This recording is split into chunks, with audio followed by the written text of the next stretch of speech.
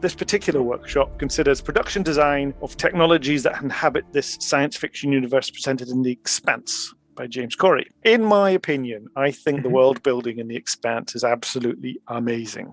The thing that interests me about the story is these two characters. You get narratives that incorporate characters that have to respond to conflict. And these personalities will either collide or they'll collaborate, and then drama ultimately unfolds. Where the hell have you been? Come on, gotta get to the crime scene. Gotta check out the clues. And the two characters I think that exemplify this quite well Holden and Miller. But how would you actually describe James Holden if you were to describing him to a friend? He's the guy that doesn't want to be in charge, but ends up in charge. Decently good at being in charge, and is quite funny actually. And he's also really principled. He's determined to save humanity. Absolutely determined to save humanity. Holden wants to save humanity even at the cost of his own humanity. The character they seem to describe him as very intuitive. What'd you do? There's a button, I pushed it. Jesus Christ. That's really how you go through life, isn't it? And the other character you've got on the other side of this slide, you've got Miller. And if you were to mhm. describe Miller, how would you describe his character? The nature of his job requires him to discover what he's doing by doing. I kept telling him, I said, there's doors and corners, kid. If you don't clear the room, if you don't come in slow, Mhm. Of these two characters, which do you think would be better at problem solving? The intuitive, creative Holden on the left, or the pragmatic, structured Miller on the right? Neither. They best work together. You have someone who will vomit out ideas, and then Uh-huh. the other guy will say, This one is good, this is not good. Both of these characters have characteristics that are required to solve a problem well. So you've got that intuition, but you've also got that framework. In the world of the expanse, it's employed to tell an exciting tale of adventure. It spans the whole solar systems. You've got these three cultures in conflict, and then you've got these frequent conflicts that break out. And if they didn't break out, it wouldn't be quite as exciting a story. And you've got firearms that are involved from civilian to military. Do you think people notice that in a sci fi, people are using what are essentially primitive weapons? Well, it's a tool that does the job, and if it ain't broke, don't fix it. Point at bad guy, pull the trigger, bad guy dead. There's an example from 1760, and it's a, a lead ball. Yep. And then 150 years later, you've got the 1911 semi automatic. 400 years after that, well, have hand weapons in the Expanse universe advanced much in the intervening centuries? That depends on how much is much. Over the 400 years since the 1911 was invented, Mhm. what would one imagine would advance in that pistol? Probably the bullet shape has changed. Okay. At least, maybe not the shape, like geometric outer shell of it, but the inner structure of the bullet probably changed. Muzzle velocity generally increased. Yeah. If that's the case, if we imagine that this handgun it really doesn't change a huge amount over the intervening years, what is it that's so good about this solution that means it's still being used in the Expanse universe? It's What bloody simple. The, the simplicity seems to be a, a, an essential feature. All the action takes place in environments that are fast moving spacecraft or large stationary habitats. The environments that you see in, in the expanse, are they or are they not vulnerable? Are the skins on these vehicles thin as paper or are they armored? I think they're armored enough that some space dust won't annihilate everything inside. Back to these two characters. And so you've got mm-hmm. James Holden on the left and you've got Joe Miller on the right. And I guess you believe a fictional world, all the characters do have to face lots of different contradictions. And, and I'm no screenwriter, but one Mhm. assumes that drama itself thrives on each character's internal contradiction. And so you've got this character, James Holden, who's the hero, and he's honest as the day is long. He's a principled man and he's seeking to protect humanity from itself and from threats. I tried saving the world. Mhm. And for someone who has such a care for the lives of others, why does he keep shooting people? So do his principles actually match his actions? You can understand protection of human life twofold. You can have protect all life or protect the life that doesn't try to kill other life. Can he get away with the idea of that he's fighting for peace? Yeah, I think so. And that again makes this storyline really interesting because you end up with a principled character who's uh, possibly conflicted. So James Holden is there saying there's a right thing to do, and Miller is there over his shoulder in his ear saying you don't have a right thing. You've got a whole plate full of maybe and a little less wrong. Wrong. And so again, you've got this principled, intuitive individual on the left, and you've got this pragmatic investigator on the right, moderating these principles and this intuition. Having a thing to do can be both right and a little less wrong at the same time. and I guess that sort of position is this constant return to the idea of contradiction. Contradiction not being a bad thing, contradiction being the essential driving force behind understanding what a problem is and somehow finding some mechanism to solve it. To take a simple example, and one you're very familiar with, is this one. Yes.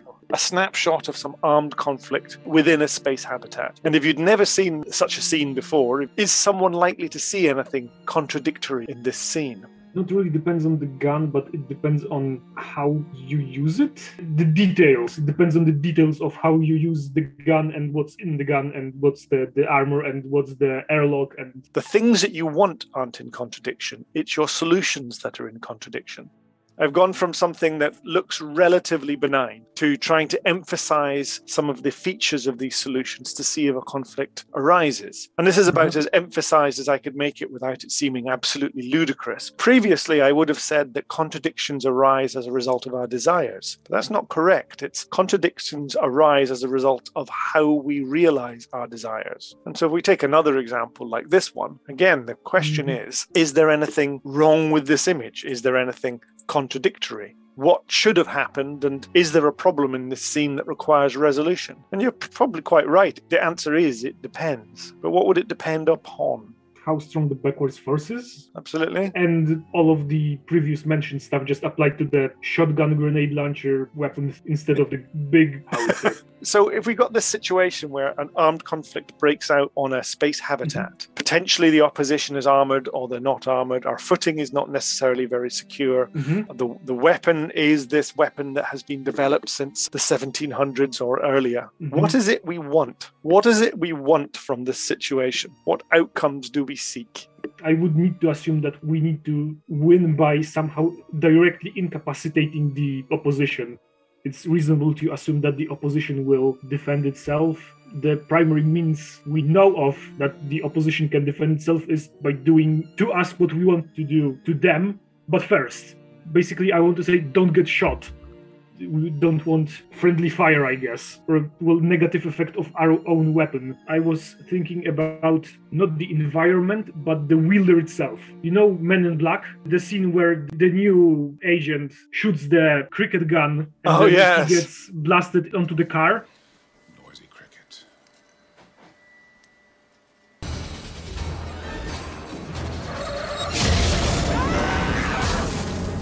Don't be harmed by your own weapon. Yep, that, that seems fair. Or at least make the landing as safe as possible. Shoot an HE round out of the howitzer, you will basically detonate an HE round in your face. I'm just wondering if don't get harmed by your own weapon contains a number of different desires. By what mechanisms would you have in mind that you could get harmed by your own weapon?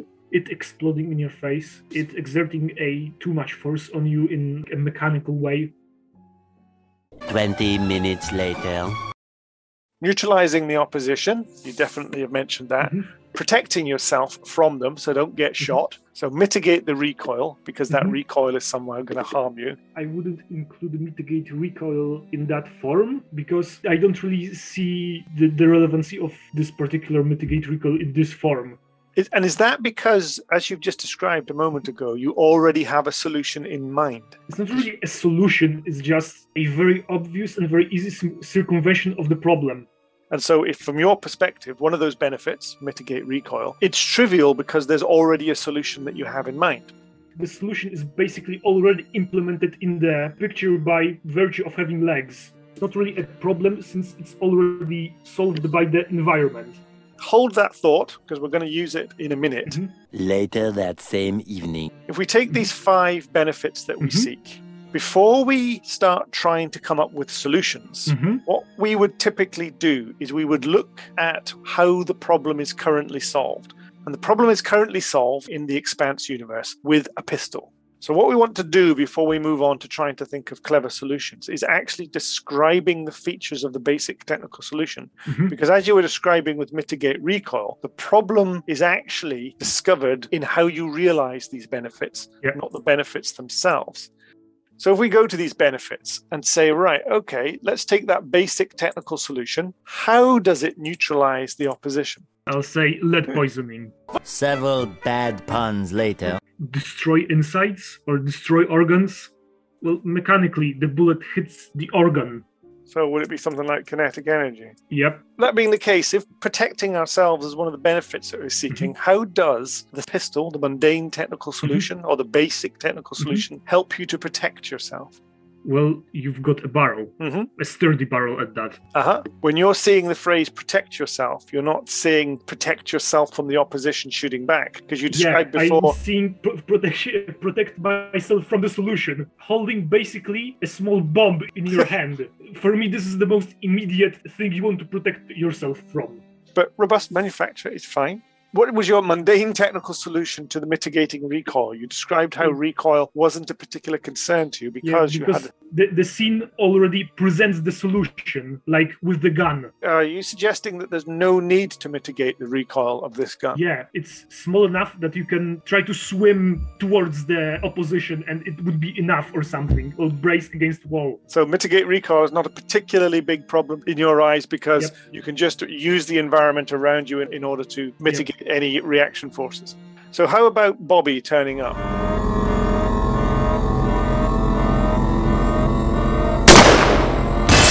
If you've got the Star Helix pistol in your hand and you, you wanted it to somehow penetrate Bobbie's armor, how would it do that? Well, there is a couple of mechanisms, hmm depending on how long you managed to shoot. In that scenario where you take multiple rounds and you try to drive a hole through Bobbie's armor, how would you protect yourself from Bobbie whilst you're doing that?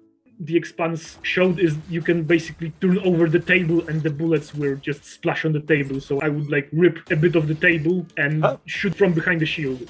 So basically, in the Expanse universe, because there's lots of small, close spaces, there's plenty of cover. And then finally, the very last one at the bottom, the Star Helix pistol. By what mechanism does it leave the ship intact? Should you say miss? Well, it just doesn't have enough energy to penetrate the hull. So the benefits don't necessarily contradict one another. Yep. but the how the mundane technical solution achieves the benefits might uh, contradict one another. Mhm. So if you look at that mundane technical Mhm. solution, do any of them actually contradict one another? We want as low energy as possible to leave the ship intact, but we want as high kinetic energy as possible to destroy organs. Yeah, so somewhere in between the two, there's Yep. possibly an answer. But as one gets better, the other gets worse. Exactly. So are there any others? Not really. No? Okay. If we wanted to be absolutely sure, hmm we would take those desires hmm and we would take those solutions and we would just cross reference them with themselves. This is one of the primary tools that I find really useful when doing mm-hmm. concept development is actually just take your desires, take the assumptions that one is making about the mm-hmm. solutions that deliver those desires and actually see if they contradict one another. Because this is the tool which. I use to really focus on a Mhm. problem and really understand what the problem is. And mm-hmm. so if we take your answers to these five benefits that we're seeking, you've already pointed out that two of them contradict the high energy required to neutralize the opposition and the low energy required to leaving the ship intact. And that would be number seven. If we want to destroy organs mechanically and with a Mhm. lot of kinetic energy, but we also want to leave the ship intact, number seven is a contradiction. And it's a contradiction because of the mechanisms that we're employing to realize those benefits. So, are there any other ones on this matrix that actually contradict with one another? Recall increases with the energy.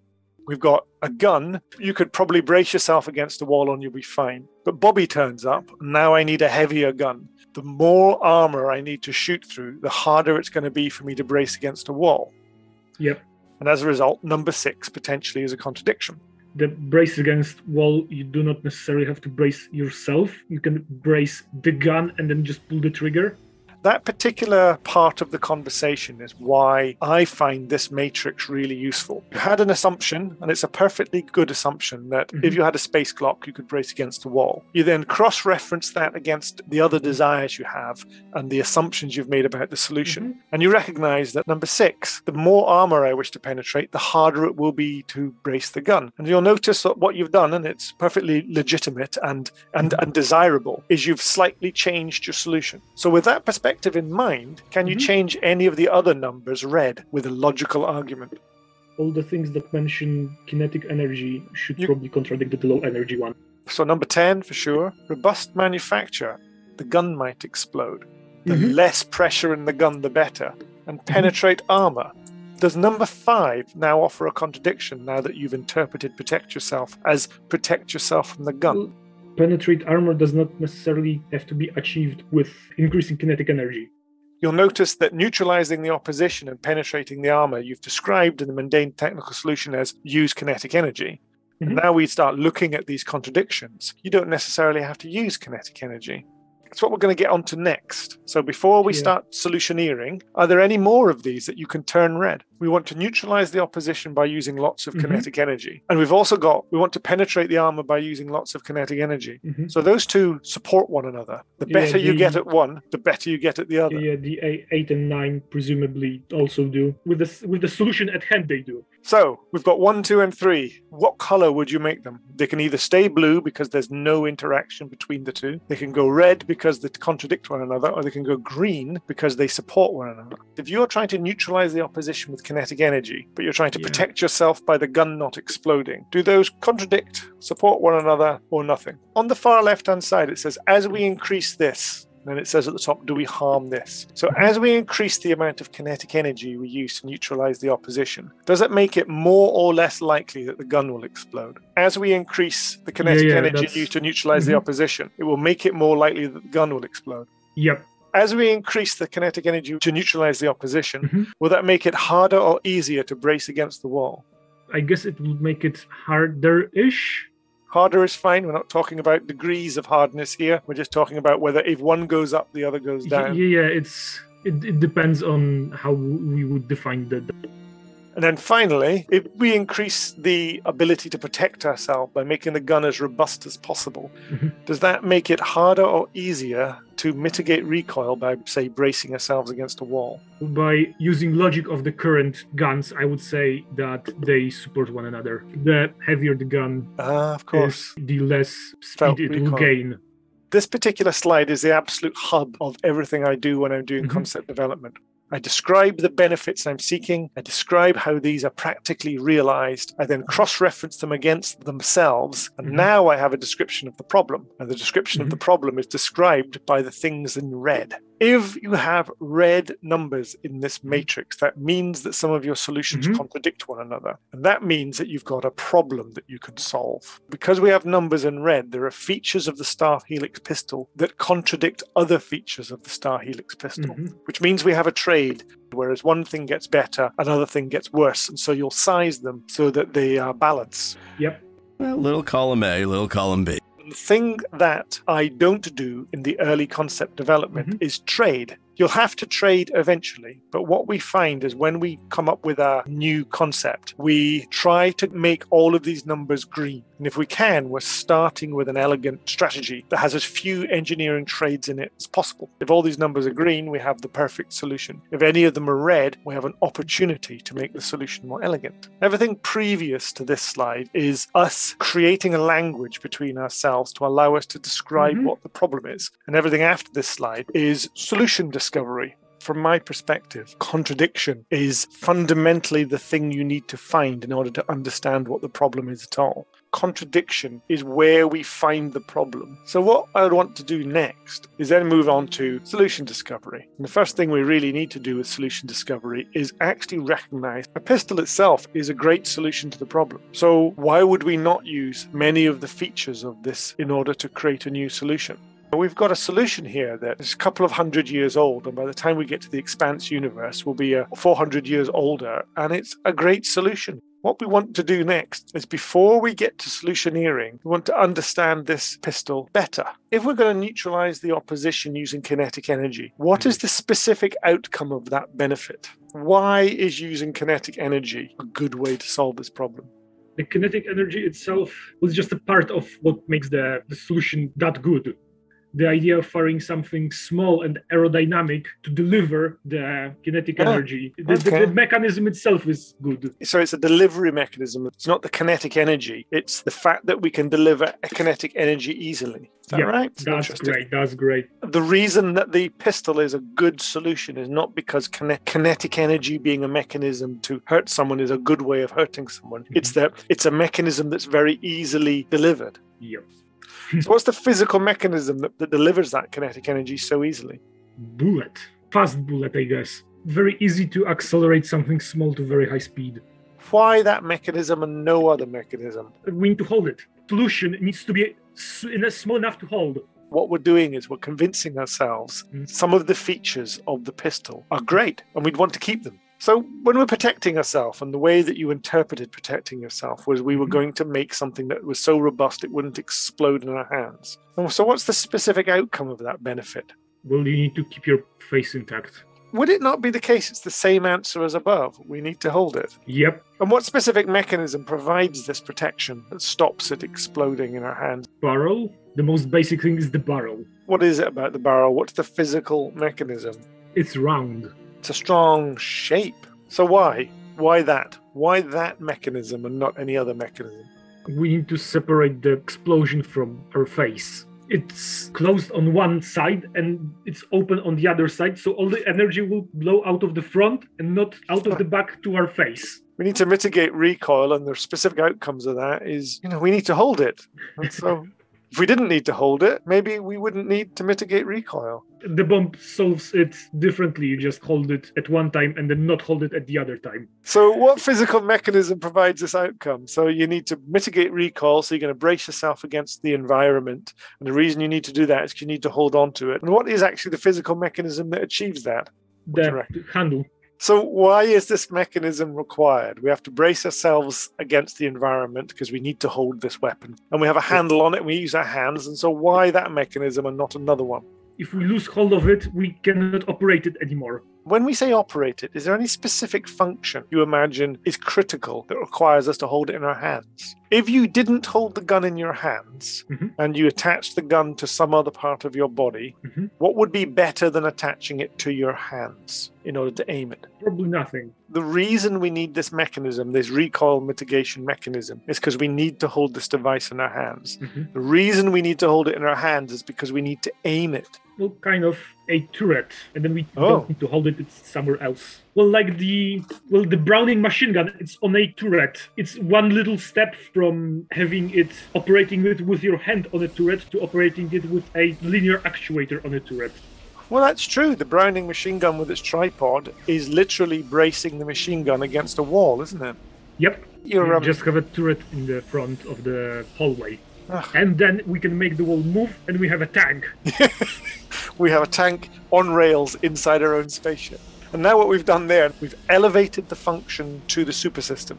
I'm just kind of like half joking, playing around with the thing. It's, whenever people come up with really great ideas, it's always funny. People start to smile, people start to have a good time.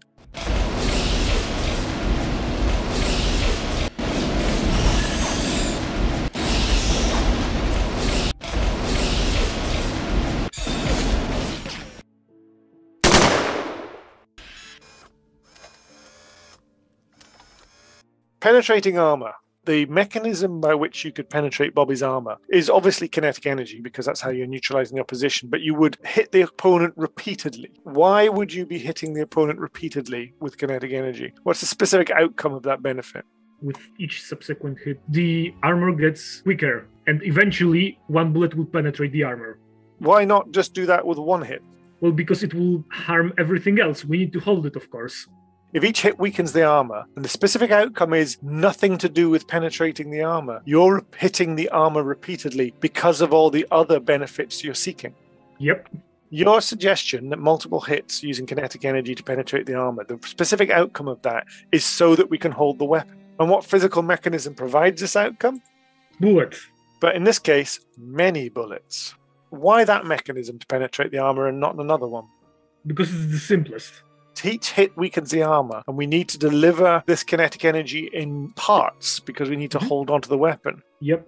wh- what I wanted to say is that I thought about it a different way. A warhead inside the bullet, but that's Uh-huh. just impractical. Another mechanism in a bullet Oh. that will penetrate the armor.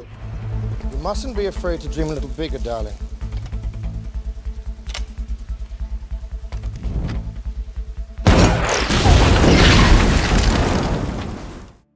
The reason I labor over the problem statement so much Mhm. is because there comes a point when you've stared at the problem so much, it starts to become ripe with solutions. We've got to that stage in here where we can't help but mention new and interesting solutions. So we've been talking about this pistol, but now we've talked about it so much, we can't help but say, but what if the bullets exploded? What if the bullets had these features? And when you've got to a situation where your problem statement begins to bleed into your solution, you mm-hmm. know that you're ready to solve the problem. But before we do, let's finish this row, because one of our desires is to leave this ship intact. And the mundane technical solution achieves this by being low energy. It's a 9 mil gun. What's the specific outcome of that benefit? What is it we need to leave intact? If we're going to leave the ship intact, which part of the ship?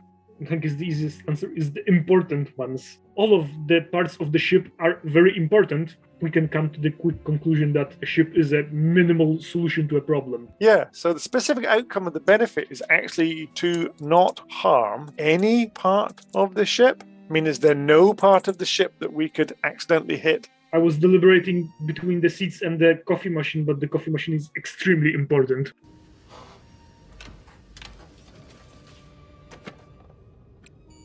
And what physical mechanism prevents us harming any part of the ship? And why is this mechanism required? Why must we have such weak bullets? The answer might surprise you because we need to hold it. We need to be alive to be able to hold it. From your answer there, I would expect that it's more important that we keep the ship intact than it is we defeat the opposition.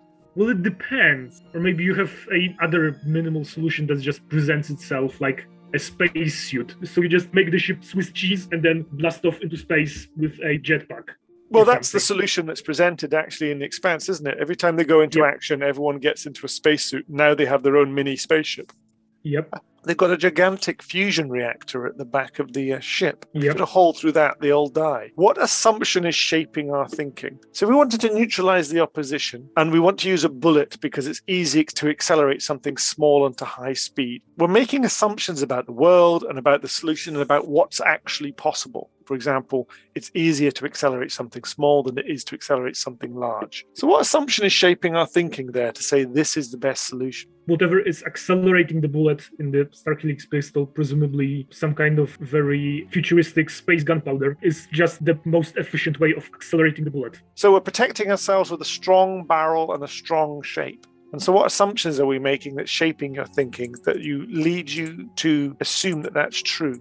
What assumption is shaping your thinking that a strong barrel with a strong shape is the way to protect yourself? It comes from the above one. Since we're accelerating it with an explosion, this is the way to contain an explosion. If we're mitigating recoil and we're using our handle on the device with our hands, what assumption is shaping your thinking that we would use a handle and we would operate it with our hands? Why? What assumption are you making about the world or about that solution or about what's possible? Can't have a gun that fires by itself. Penetrating armor, what physical mechanism provides this outcome? We're going to use bullets, but we're going to use lots of them. So, what assumption is shaping your thinking about that? Why are we using lots of them rather than, say, one? Well, it comes from all of the above in it. We can't have one big bullet Why not? because then everything else will have to be scaled up. Each bullet is limited in the amount of energy that it can deliver because of all the other assumptions. Yeah, seems about right. And finally, leaving the ship intact. And the physical mechanism to provide this outcome is weak bullets. Mhm. Why are we assuming that we must have weak bullets to leave the ship intact? The hull is weak. and also the subsystems. We're assuming that that fusion reactor at the back is also weak. Yeah. We've now absolutely squeezed everything we can out of defining what the problem is and why Mhm. the incumbent solution is good and why the incumbent solution is bad. And we've also squeezed out of ourselves what assumptions we're making that lead us to those conclusions. Have you noticed that the leave the ship intact part Uh-huh. seems kind of glued on and the solution is basically perfectly viable without it? What we discovered there is our top benefit. If it weren't for the fact that we were on a spaceship with a weak hull, this wouldn't be a problem. We could just use that pistol and we could just blaze away. If it weren't for that, we probably wouldn't have a problem. So now we move on to trying to solve the problem. What we're not going to do, find a balance where if you wanted to penetrate armor and you wanted to mitigate recoil and you penetrated armor with a really powerful gun and you mitigated that recoil by holding the gun in one hand. What you would do is you would find a gun that was so powerful that it would penetrate armor but not so powerful that you couldn't hold on to it anymore. But in early concept design we have an opportunity to not trade to not trade between these two desires we have a desire to penetrate armor and we have a desire to mitigate recoil, but they don't go together. We end up with a poor foundation to build a solution on. And both of these supports are perfectly adequate in isolation, but paired together, one will harm the other. And the way that we would try to solve this from a concept perspective is actually we would get rid of one, keep the recoil mitigation mechanism, hold the gun in one hand, and then we penetrate the armor with a great idea you get two goes because you could actually treat it this way around as well. Actually, the penetrate armor with a high powered gun, that's our primary column. and the other side is the problem. Get rid of that one and have a great idea. It means we keep all the good bits of the solution. Mhm. There's another way of looking at it. So imagine we had a graph, and at one side we said we're going to penetrate the armor. We have to find some balance between the two, and that balance will cause a boundary beyond which we can't pass. So we could have a really, really high powered gun but our mm-hmm. recoil mitigation is terrible. The cricket gun from Men in Black. We could actually design something the other way around. We can say, right, we can have really great recoil mitigation mechanisms, but they're so good, the energy in the round is so poor, it doesn't penetrate armor at all. A Nerf gun. A Nerf gun, and everything in between that creates yep. this boundary. We could take either end of this scale and choose one we know that a high powered gun gives us everything we want in penetrating armor, and we know that a low powered gun allows us to hold the gun in one hand. We want to be up there on the top right. We would like both, but we can't have both because these two features contradict one another. Mm-hmm. So I'm going to keep one. I'm going to have a really, really high powered gun, but then I'm going to have a great idea and have recoil like a low powered gun, but not like a low powered gun. And a really obvious answer to that one is make it a rocket gun turn the barrel the other way around, essentially, and have the open end pointing backwards and fire the whole barrel at the. We've invented we, the rocket launcher. However, we get two we get two attempts at solving this problem because we could mhm. do it the other way around, and we could say, actually, we're going to make a really low powered gun. And we're going to hold the gun in our hand, but we want a solution that damages like a low speed bullet, but not like a low speed bullet. So we have a really slow speed round. And now we've resolved our physical contradiction. This is our solution mechanism. We've taken our technical contradiction and transformed it into a logical contradiction. Something has to be itself but not itself. So we take our contradiction and we'll continue to provide the maximum of one, and we're going to modify the other one so that the contradiction is resolved. And then we're going to do it twice to save ourselves going through absolutely hours and hours of concept development, I'm going to give you a choice. You've got one, two, three, four, five, six contradictions that you identified. Which one of these is most interesting to you? Which one sounds fun? Leave the ship intact is the boring option because I thought too much about it.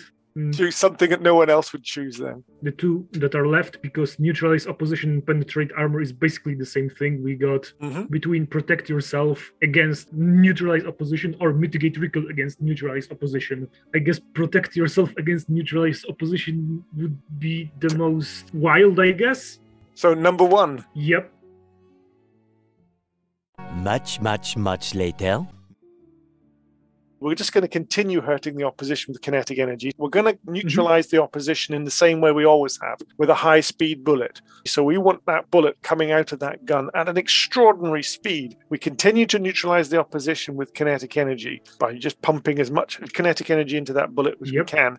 As we increase the amount of kinetic energy we put into the gun, the gun is more likely to explode. So we have to find a new way of stopping the gun exploding. Keep the solid lead bullet and then modify the gun. Keep the fast traveling metal projectile. Yes. How does the gun not explode? That's the question. Maybe we apply the kinetic energy to do the bullet in a different way. And we want to put more kinetic energy into the bullet than our barrel can handle. How can we get more pressure into this barrel to accelerate this bullet without bursting the barrel? Is there a way that we can put more kinetic energy into that bullet and the barrel can't explode? The gas is not the problem, the amount of kinetic energy we want is the problem. Maybe we could make the barrel longer and then Yeah. explode a lot of gunpowder slower. But the only reason the gun can explode is because of the way we infuse the kinetic energy into the bullet. So the problem isn't really the gun exploding, the problem is pressurized gas in the gun. So, how are you going to accelerate this kinetic energy around using no pressurized gas? Uh, railgun. So, electric propulsion replace mechanical system. So, we've taken a gas system and replaced it with an electrical system. Do railguns not explode? How could we make the long barrel short and yet still be long? Could we make a gun that can't explode? Because one of the solutions here is spheroidality, which is take things that are straight and make them circular, and take things that are circular and make them straight.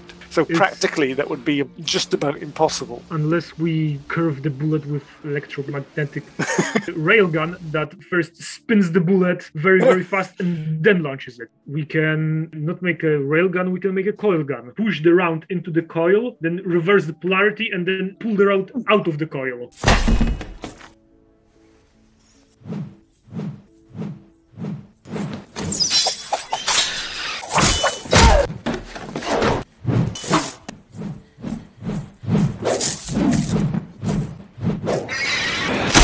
Can you think of another one? Do it in reverse. Do it in reverse basically says take your system and turn it upside down, back to front, or inside out. Is there any way that we could take a gun and do it in reverse? That's that's the rocket launcher let's take a barrel stick it on a like a pole the barrel will launch on a device that looks like the roller for uh, painting So basically, it's a rocket. This allows you to invent the rocket. in an emergency, we can just overload it, fire once, and discard it. Disposable gun. We want to protect ourselves from our weapon that might explode, but we also want to put loads of kinetic energy into Yep. it. So, what we're going to do is we're going to use it like a regular gun. But all of a sudden, Bobbie, the space marine, appears. We're going to have to have a far more powerful gun than we currently holding. Yeah. So, we're going to overload our gun massively. hmm It'll probably explode, but Mhm. it will deliver a round with 10 times the energy that we usually deliver. And then that's the end of the gun. Disposable gun. Maybe kind of partial action. We don't have a gun that will immediately explode after we fire it. We just have a gun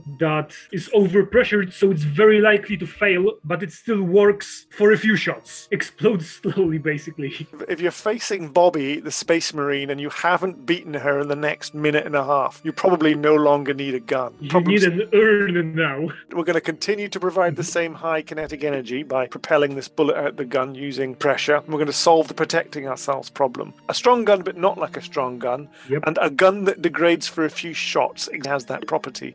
How does the disposable gun stop us harming ourselves with it? A one shot gun that Yeah. totally overstresses the barrel, but how does the one shot gun not blow your hand off? The obvious answer is move yourself away from the kinetic energy. A gun mounted on a RCI car. If we break the gun, we already sink some energy into breaking the gun. If the gun explodes, then it's just a bomb. All right, we can have a recoilless gun. Maybe, maybe let's have a double barrel. The Yeah. inner barrel explodes while the outer barrel protects you. Much, much, much, much, much, much later. We're going to protect ourselves as we always have with a robust manufacturing and a mm-hmm. good shaping on the gun. But we want to neutralize the opposition. So we have to find a new way to hurt the opposition. And we want to find a way of getting more energy into that bullet. We want to neutralize the opposition. But if we use kinetic energy to neutralize the opposition, we'll burst mm-hmm. the gun. We want to neutralize the opposition in a different way so the gun doesn't explode. Yep. So, what is another way to neutralize the opposition that won't burst the gun? We want to put massive amounts of energy into this bullet in such a way that the gun can't explode. the bullet gains the energy somewhere else. Make a heat round. The bullet will deliver its last kinetic energy by itself. The way that we can get massive amounts of energy into the opposition without making a gun that explodes is by making a slow round that explodes. Well, make the round go slow and make the round explode when it gets to the destination. So basically, a, a grenade round. We could just make a really slow round so there's not not much gas pressure in the barrel. Mhm. And when the round gets to the target, it explodes. Okay, so now we've got the model of a slow round in our head. We've got a barrel. We don't put too much pressure into that barrel. We deliver the round to the target, and then the round does something nasty when it gets there. we don't keep the kinetic energy that's that hurts the opposition use something other than a you know solid metal round so maybe we pierce the opposition deep into its flesh and then use a poison very quick neurotoxin or something to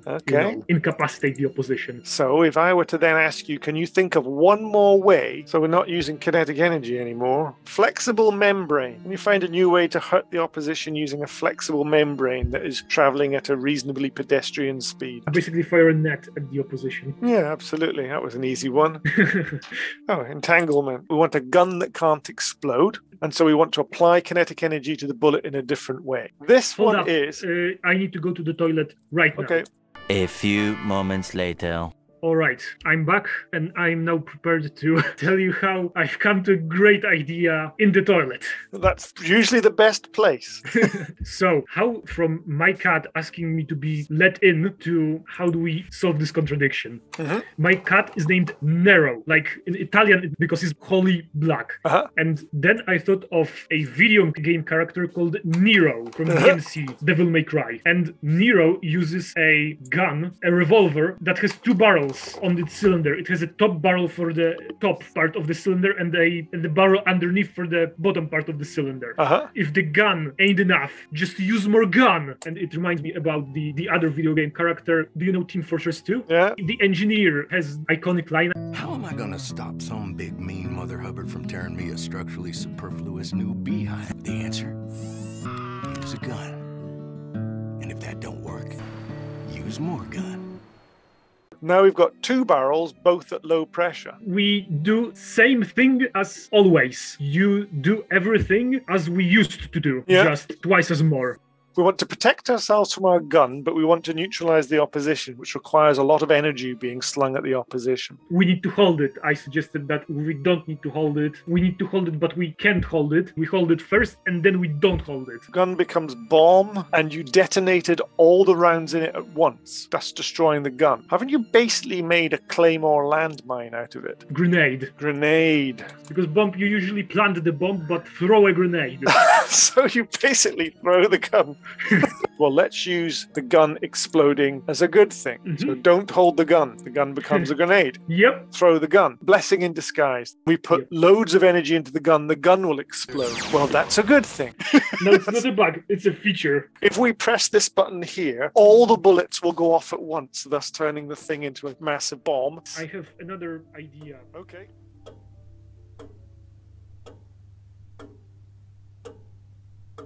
Twelve o'clock midnight.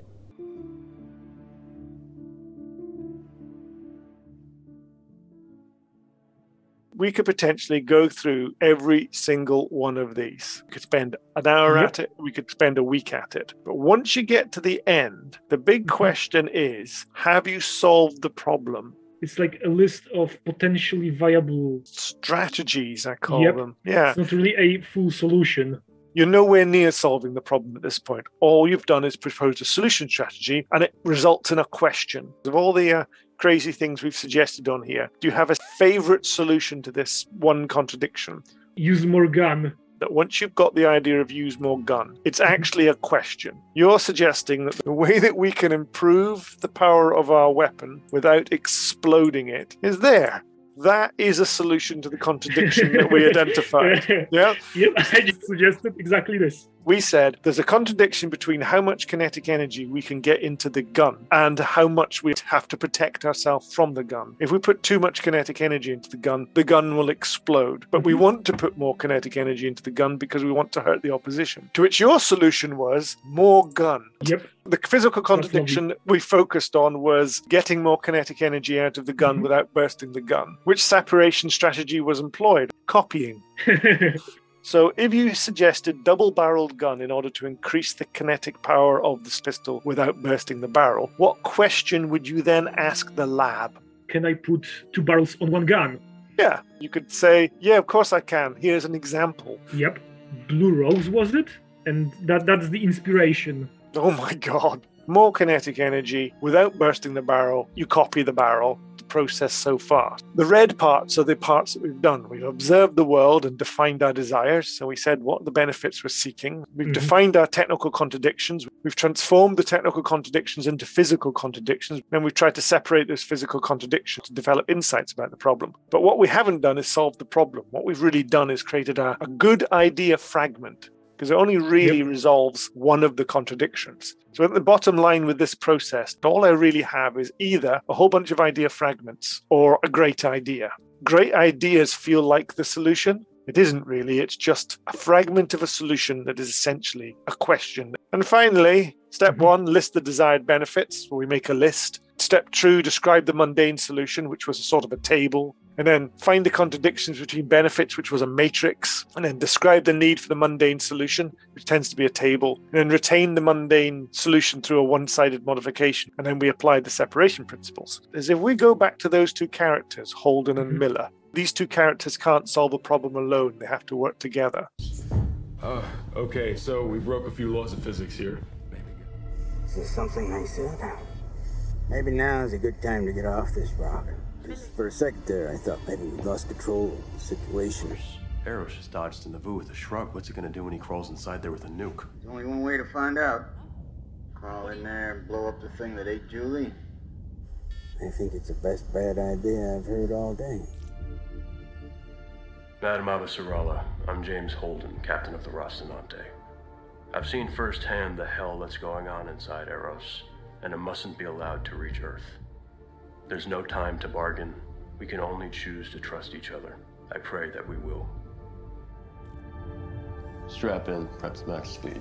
All clear! Clear!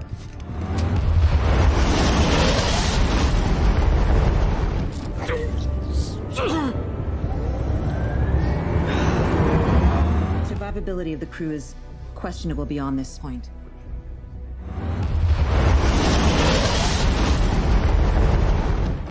They're going to stay with Eros, even if it kills them.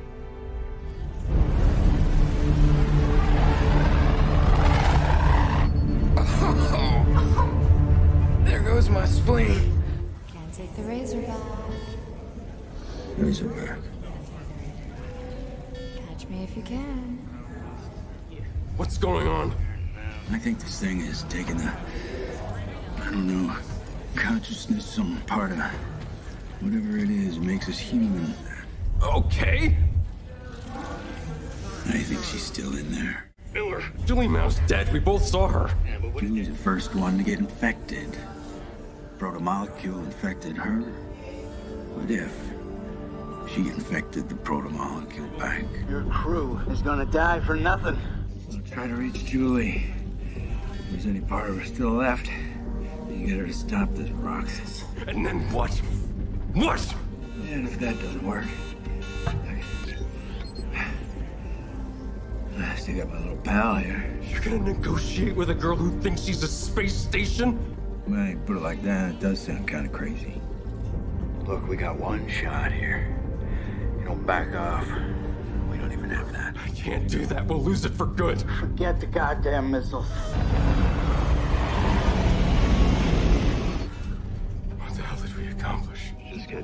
Stop that rock, and we'll come in and swoop you up. It's time to see what's what.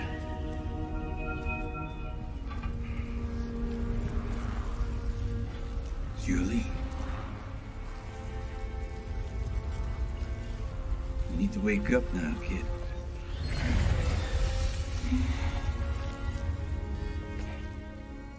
What happens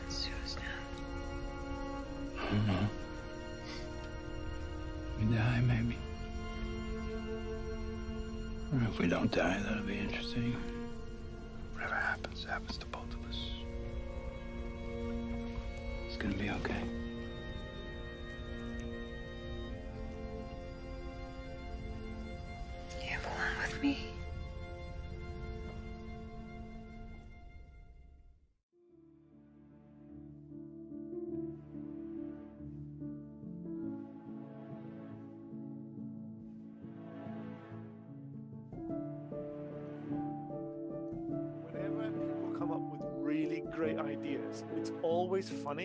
Do you think if I got a stand up comedian or two stand up comedians? Not engineers, people whose job is humor, and I got them to try and solve an engineering problem and see That what would be strategies. a great show. It would be like a, a great spectacle. Penetrating armor, the mechanism by which you could penetrate Bobbie's armor is obviously kinetic